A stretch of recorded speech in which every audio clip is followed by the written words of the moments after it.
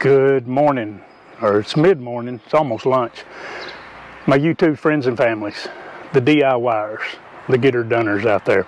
want to show you a little something right here as far as a tool. This is the M12 little hedge trimmer they come out with. Pretty cool little tool. I bought it for the same reason I bought the saw.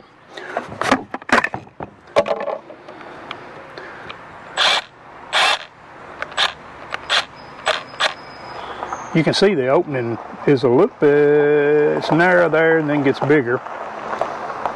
But I wanted to one thing talk about right here is the little safety thing.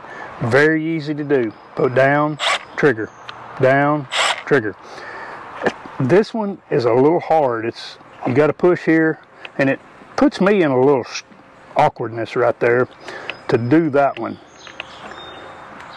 Sometimes I had better luck doing it with this finger on this side and working the trigger with that finger like that. Sometimes was a little easier. Maybe they made it a little more difficult because it's a little more dangerous tool.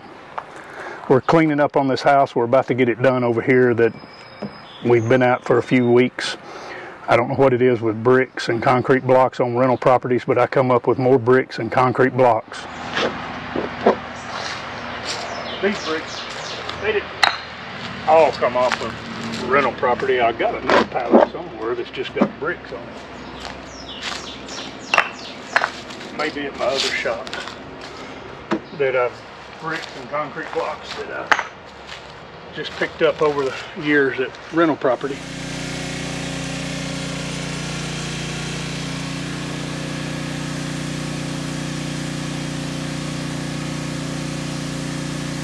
Well, this little house is coming together.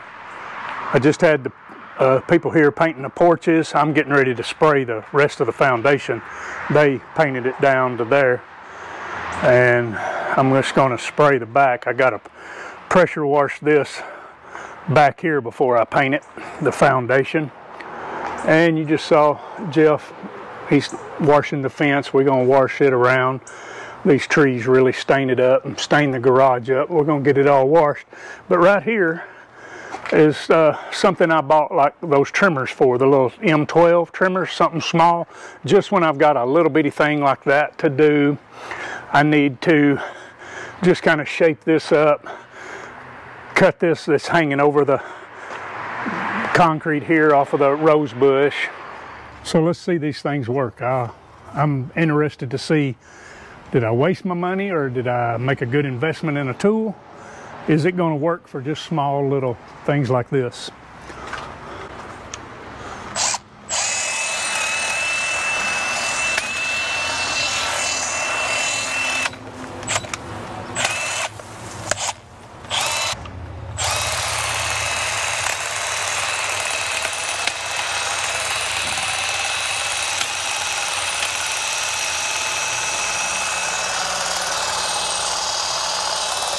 That's a no-go.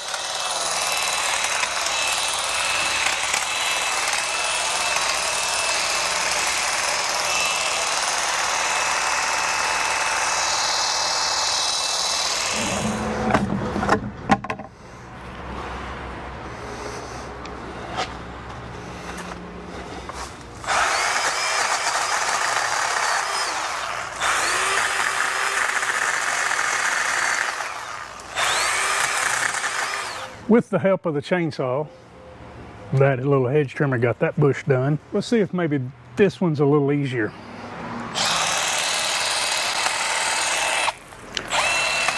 I have a 6.0 battery on here.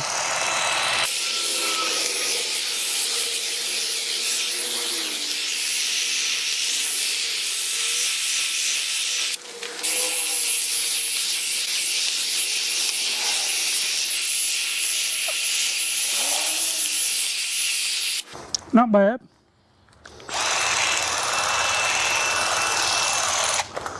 Not bad shaping that up.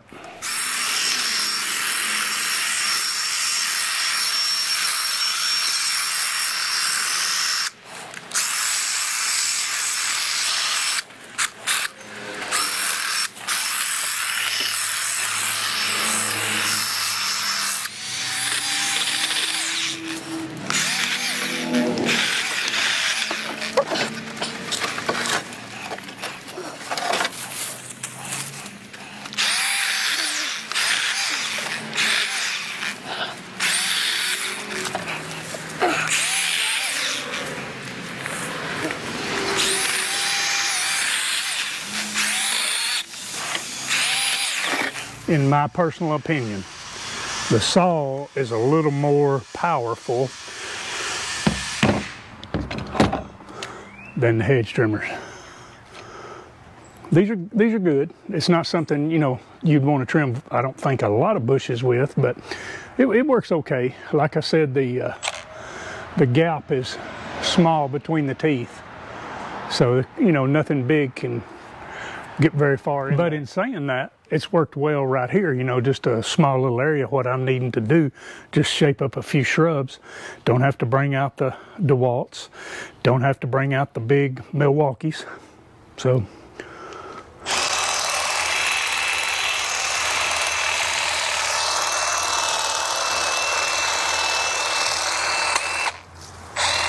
Finally,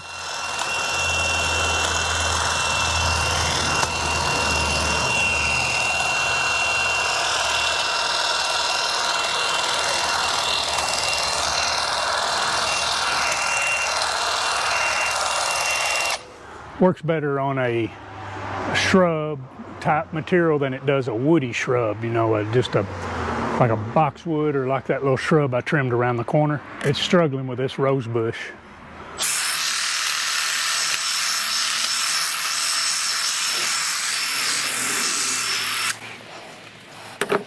I really like this.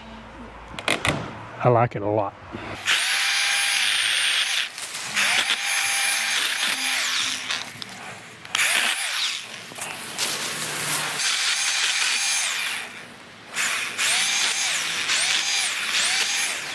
They're a really good pair together. This is even really good by itself.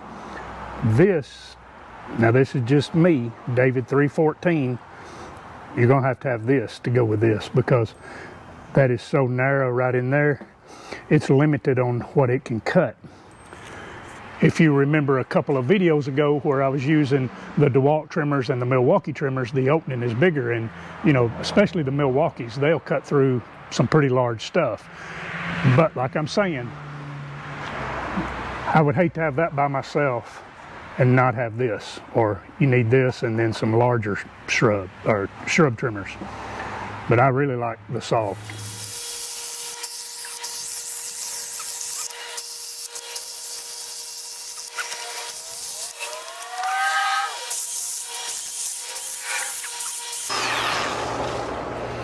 I don't like anything getting close to the house or hitting me in the head when I'm mowing. I need this away from the house where I can pressure wash.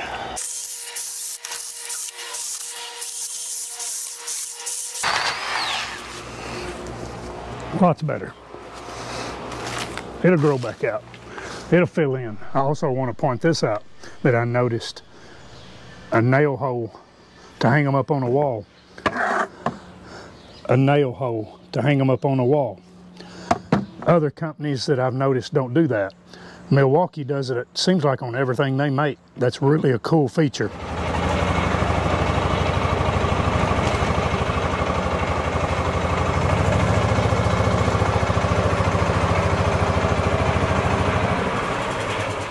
He just got the back of the house washed so I can spray the foundation. Painter's already got this.